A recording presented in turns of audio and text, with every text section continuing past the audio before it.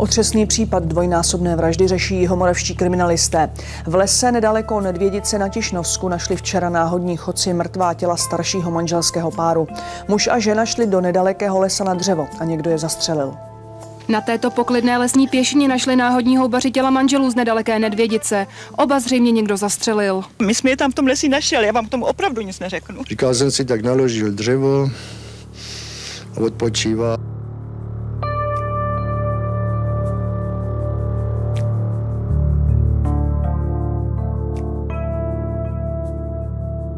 Na podzim roku 2005 se schylovalo možná k největší masové vraždě v českých zemích. Kriminalisté však jednali bleskově a zabránili tak dosud nevýdanému masakru. Vrah svou krvavou cestu započal v lesích na Jižní Moravě a dříve než veřejnost vstřebala šok z nálezu mrtvých seniorů, přišel další. Příběh člověka, kterýmu jsme začali přezdívat lesní vrah, začal v podstatě dvouma samostatnýma případama. Eh, je to případ, který se vymyká eh, tím, co vlastně pachatel měl v úmyslu spáchat. Eh, první příběh začal 13. října roku 2005.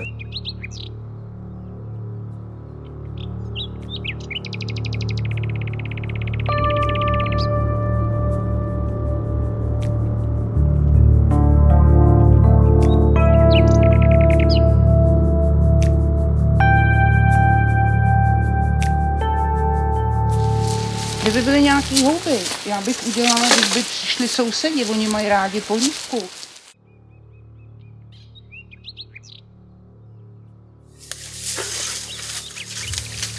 No, teď mám taky krásný pocit.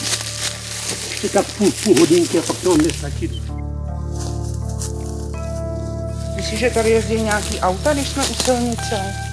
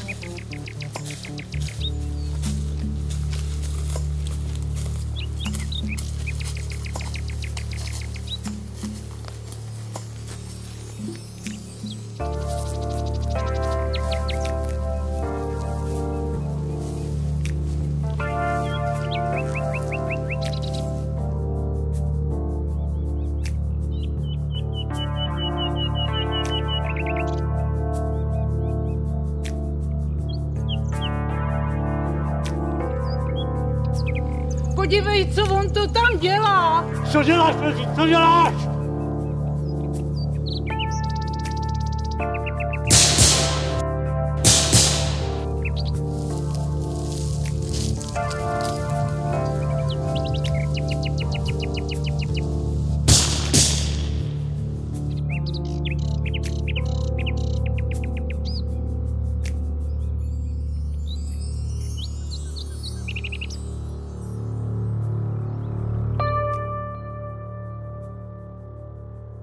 Moravští brněští kriminalisté pracovali na tomto eh, případu, vyhodnocovali střely, zajištěné nábojnice. Eh, první poznatek z balistiky byl, že pravděpodobně ty střely byly vypáleny eh, z pistole Glock.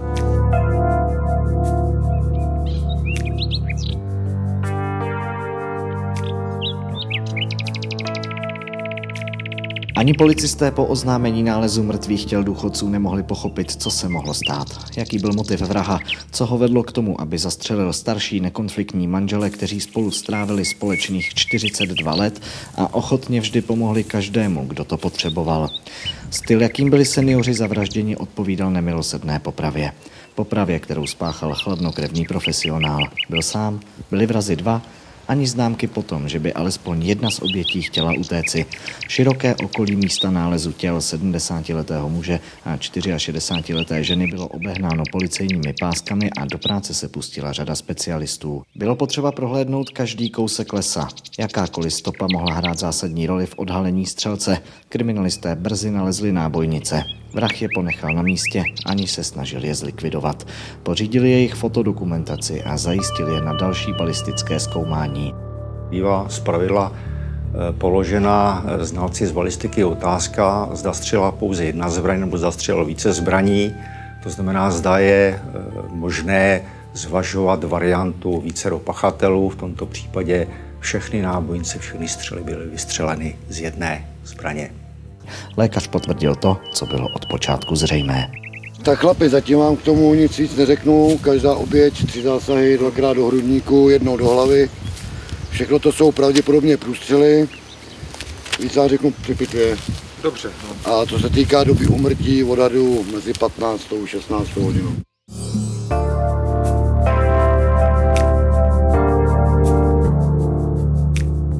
Ve směru střelby bylo potřeba prohlédnout každý strom, zdali v něm neuvízla některá ze smrtících střel. Hned na místě policisté vyspovídali několik lidí. Důležití byli také místní houbaři, kteří těla u cesty nalezli. Střelce ale neviděli. Kriminalisty čekala rutinní mravenčí práce. Zajistit co nejvíce stop na místě činu, vyslechnout sousedy, lidi z obce, blízké i vzdálené příbuzné. Bylo nezbytné zmapovat poslední hodiny života manželů. Bylo třeba vyloučit či potvrdit různé verze této vraždy. Loupež, pomsta, byla to likvidace nežádoucích svědků, nic z toho se nezdálo věrohodné. Případ dostal maximální prioritu a první výsledky policejní práce na sebe nenechaly dlouho čekat.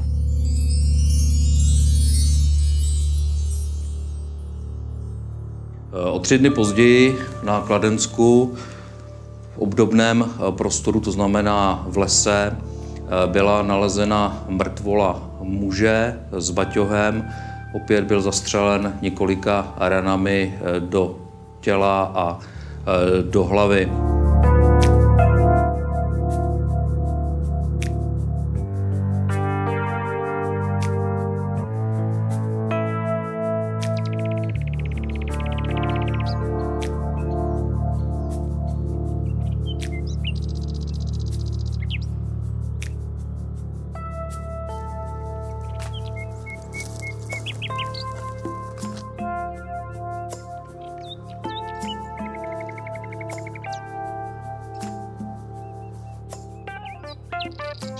Mohly být nějaký huby.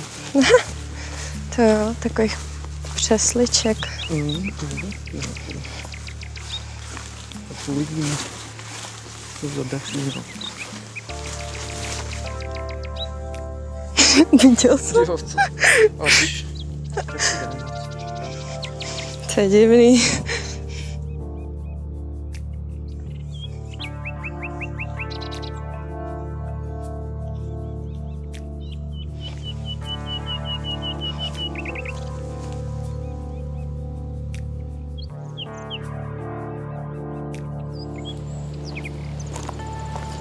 Ke mně. Ke mně. Ke mně pojď. Ke mně. No neboj. Ke mně pojď. Pojď sem, pojď. Tak je hodná barunka. Neboj se, neboj. Neboj.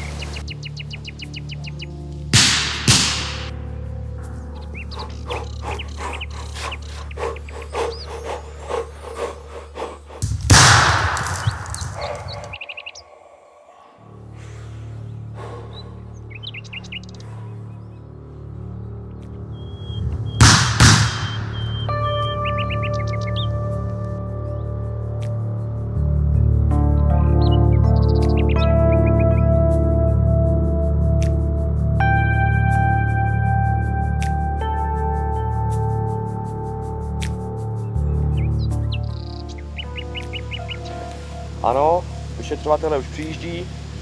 Dobře, budu podávat další hlášení.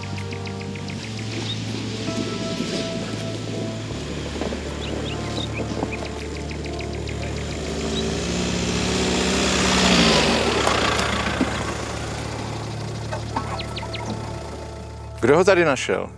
Našla ho manželka. Byl tady se psem, ale ten už je doma. Dobře.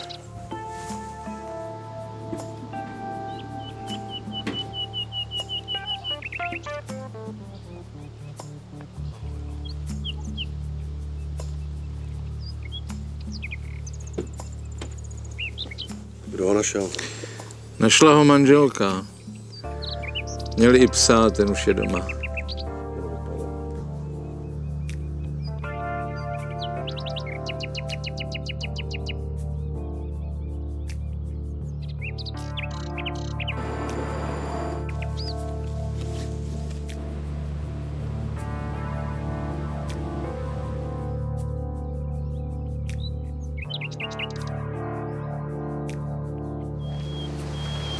Co je to za ráži? 9 mm Bulgara. To je stejné jako na té Moravě.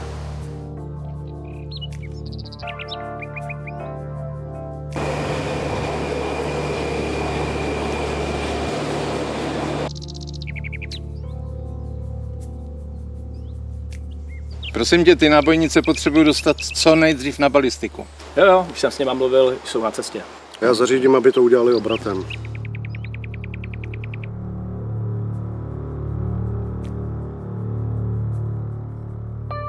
13. října 2005 jsou v lese u Nedvědic nedaleko Brna zastřelení manželé ve věku 70 a 64 let, když v lese sbírali dřevo. O tři dny později a o 200 kilometrů dál je při procházce u Malíkovic na Kladensku ve středních Čechách zastřelen v lese 44-letý živnostník.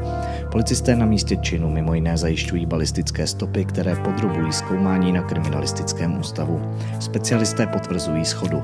Nábojnice byly použity v pistoli značky Glock.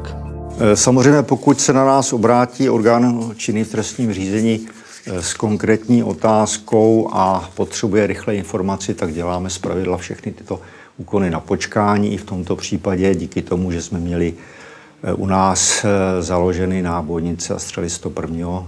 spáchaného činu, tak jsme obratem vlastně provedli porovnání těchto nových balistických stop a ukázalo se k naší radosti, že skutečně byla použita stejná zbraň. Detektivům pomohla i svědectví. Takže vy jste místní? Ano. Bydlíte tady někde poblíž? Jo, tady kousek za lesem. Dobře. A všimla jste si včera kolem 15. a 20. hodiny něčeho podezřelého? Podezřelého? Hele, maximálně, když jsem měla z práce kolem 17 hodiny, tak tady na kraji lesa stalo takový tmavý malý auto. A vzpomněla byste si na typ vozidla? Ale já nevím, prostě malý auto. Opel, Renault. A SPZ vozidla, první dvě čísla nebo dvě poslední, jste si náhodou nezapamatovala? Vím, že ta SPZ byla stoprocentně ústecká. Ústecká. Ale čísla neřekl. Bylo na to hned divný, že se po lese prochází muž s kufříkem. Počkejte, muž. Jak vypadal? Jak byl velký, barva vlasu? Taky tmavý vlasy. Tak okolo 25 až 30. Vysoký? 1,80 m měl. Tak přibližně, no. Co měl na sobě? Hmm, takový tmavý oblečení. Ne, ne, ne, ne. Určitě měl bílý trčko. Takže tmavý kalhoty a bílý tričko. Jo. Hmm. Nevšimli jste si na něm něco podezřelého? Kufřík měl. Kufřík. Mhm. Nějaký velký, malý. Takový černý. Malý.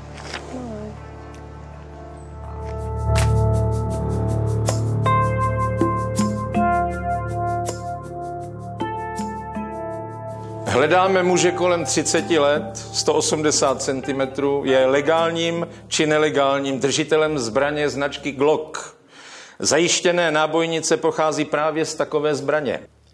Je zde schoda balistiky, jak u vraždy v Nedvědicích, tak také u vraždy v Malíkovicích. Mohl by mít auto Opel tmavé barvy menší velikosti. Prověřujeme půjčovny auta, hledáme v registraci odcizených vozidel. Auto mm, má pravděpodobně ústeckou poznávací značku. Máme co dočinění s masovým vrahem. Zdá. Něco máme. Projeli jsme všechny databáze a na něco jsme přišli. Podívej, chlap, zbrojní průkaz, registrovaný dva gloky. Tenhle ten byl před dvěma lety nalezený v popelnici a odezdaný na policii. Volal jsem holkám na zbraně a ty mi potvrdili, že ho několikrát vyzývali a ani jednou se pro tu pistoli nedostavil, což je divný. A věk? Věk 28 let. A podívej, bydlí nedaleko Malíkovic ve Slaném. Auto má? Prověřili jste jméno v půjčovnách? Všechno jsme prověřili, on na sebe nemá napsanýho nic, ale jeho matka malýho černého opla. A ty ústecký plechy nám k tomu sedí.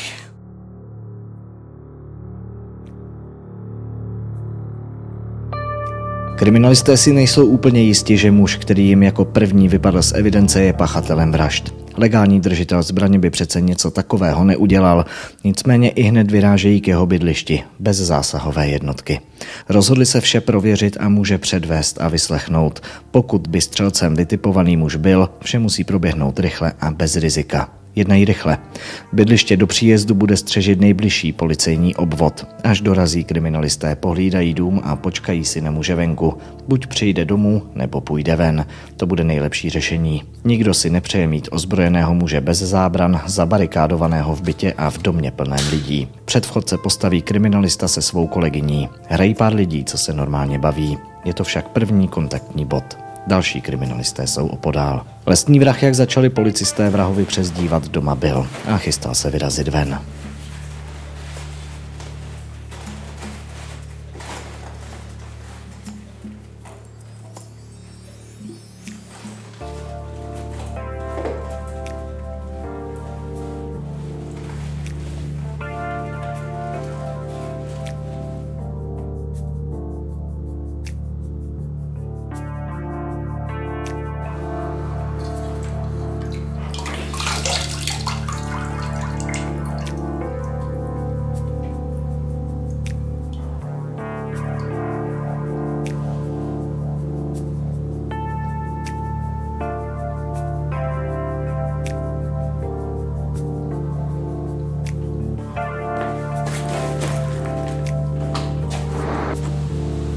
Jde. Kontakt.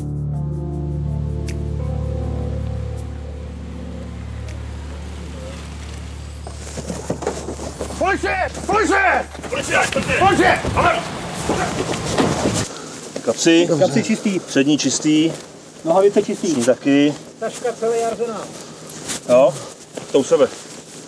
Máš v sobě ještě něco? Ne. Sednou, sednou. Tak, smoupí si. Dobrý, jdeme. Dveře nám otevři. Dobrý. Otevři, dobrý, dík. Tak. Bravo. Další nohu, nohu. Druhá noha. Má tam nohu. Odvezte ho k nám na oddělení. Jasný. Jo, ahoj. Profil, profil, tady parita, vyjíždíme z místa. Tak kvůli těm třem vraždám. Kvůli jakým vraždám? Tak jsem zastřelil ty tři lidi.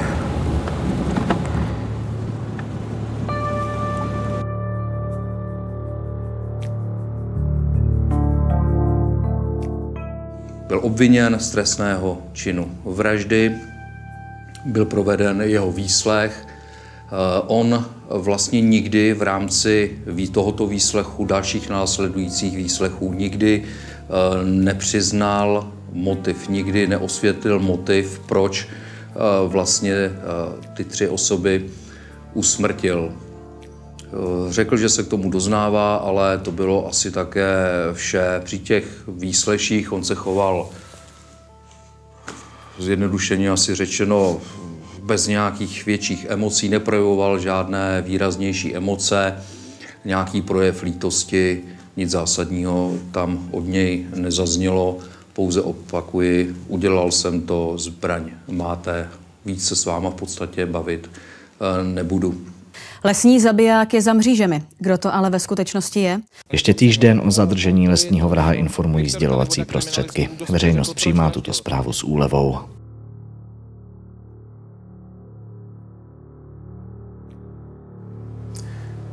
Můžete se nějak vyjádřit k tomu prvnímu skutku? Je to vaše výpověď. Můžete teď mluvit. Přiznávám, zabil jsem je. Zastřelil jsem je. Nějaké blížší okolnosti. Střelil jsem je zblízka. Kde k tomu došlo? Na kraji lesa asi 20 až 30 kilometrů od Brna. Místo už si nepamatuju, ale to je máte napsaný někde. Máte proto nějaké vysvětlení, proč jste vraždil? Samozřejmě, že mám, ale O tom už jsme spolu mluvili, že to nebudu uvádět. Vám to bylo jedno? Střelíte, koho v lese potkáte. Co kdyby tam šla matka s dítětem?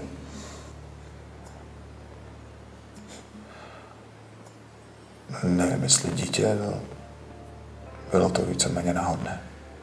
A když jste zahájil palbu na ty lidi, co jste cítil?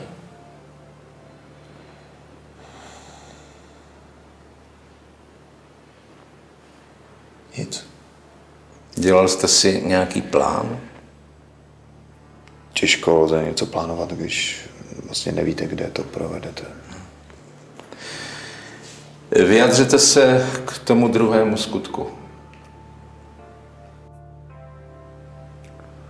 Potkali jsme se, šel naproti mě, vytáhl jsem pistoli. 6 až 8 metrů. Střelil jsem ho, když se otočil. Nakonec jsem ho ještě střelil do hlavy. Šel jste do lesa s tím, že budete střílet? A proč tenhle muž? Nechal jste přece přejít muže a ženu. Proč jste útočil v lese?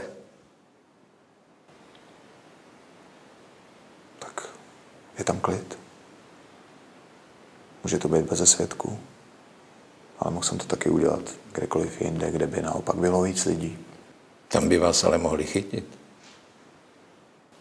S tím jsem počítal. A bylo mi to jedno. A co jste pak dělal? Nic, co by s tím nějak souviselo. Místo jste nějak plánoval? Náhodný neplánoval. Počítal jste s tím, že byste ještě něco spáchal? O tom nechci mluvit. Litujete toho? Ne. A co byl ten spouštěcí mechanismus, že jste začal střílet? Prostě to, že jsem se k tomu vůbec odhodlal, že jsem to udělal, že jsem sebral tu odvahu. Ale proč? To jsem vám ale právě teď řekl. Co to bylo za pocit? Můžete ho popsat? To by bylo na dlouhé vyprávění.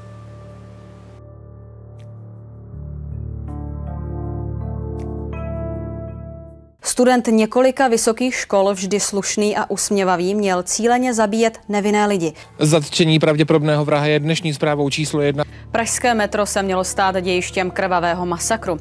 Na střelbu do cestujících měl připraveno přes 400 nábojů v rychlo nabíjecích zásobnících. K tomuto děsivému plánu se přiznal jeden z nejbrutálnějších a zároveň nejtajemnějších zločinců současnosti.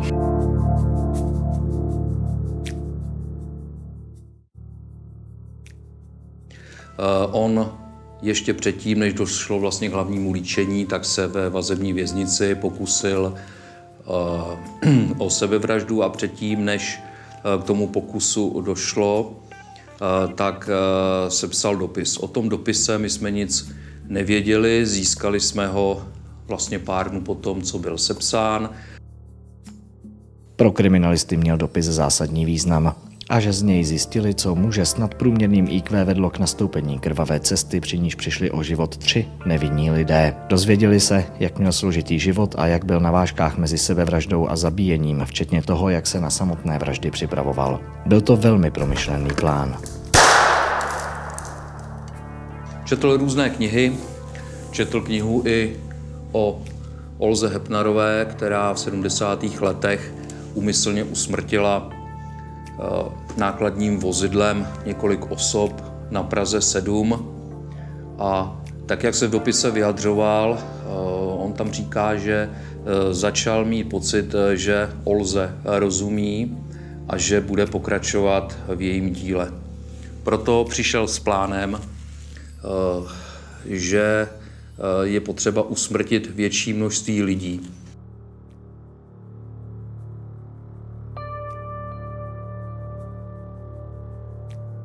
Plánoval, že bude vraždit v metru. Vytipoval si trasu metra C ze stanice Ládví na Holešovice. Jak napsal, tam to málo drncá a bude se mu dobře mířit. Několikrát už v metru byl, ale nikdy se ke střelbě neodhodlal, ač měl zbraň připravenou k palbě. Sám si nedokázal vysvětlit, proč selhal. Střílet uměl výborně.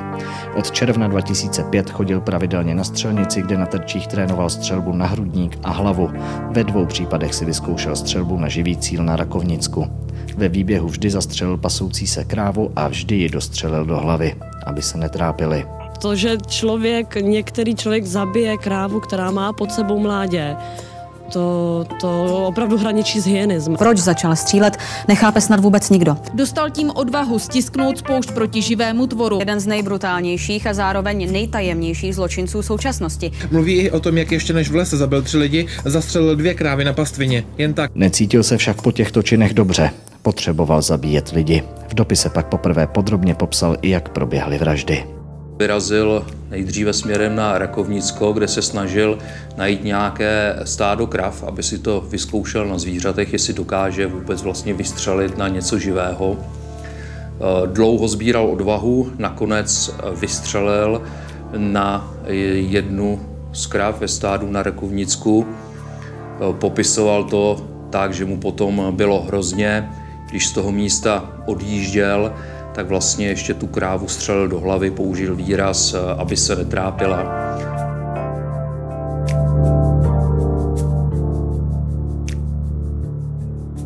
Osm měsíců po zadržení lesního vraha vynesl soud svůj verdikt, přičemž se mimo jiné opíral i o znalecké posudky z oboru psychiatrie a psychologie. Soudní znalci se shodli, že obžalovaný nespolupracuje, má IQ 130, což odpovídá vysokému nadprůměru, přičemž využití tohoto potenciálu je minimální. Chybí schopnost empatie, osobnost pachatele je uzavřená s rysy emoční sploštilosti, nízké sebedůvěry, podrážděnosti a egocentričnosti.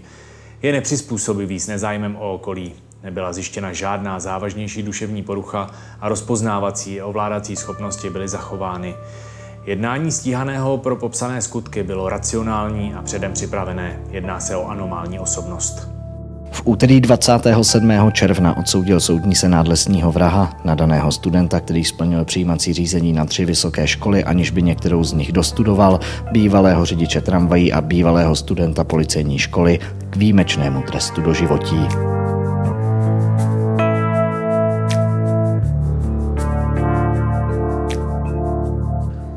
Je jasné, proč jsem nespolupracoval s policií, znalci, obhájci. Nechtěl jsem si přiznat, že jsem blázen. Každopádně nejsem normální.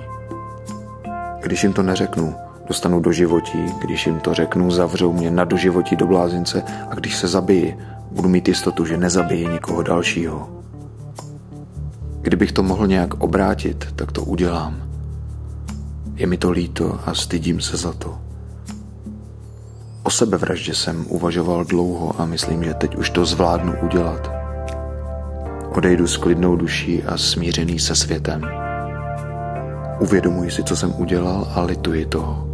Před odvolacím soudem, kdy znalci z oboru psychiatrie a psychologie uznali, že resocializace souzeného je možná, dne 26. září 2006 ve 13 hodin spáchal ve věznici sebevraždu. Mohu potvrdit, že včera v odpoledních hodinách došlo k sebevraždě odsouzeného. Jak se to udělal? Šlo o podřezání.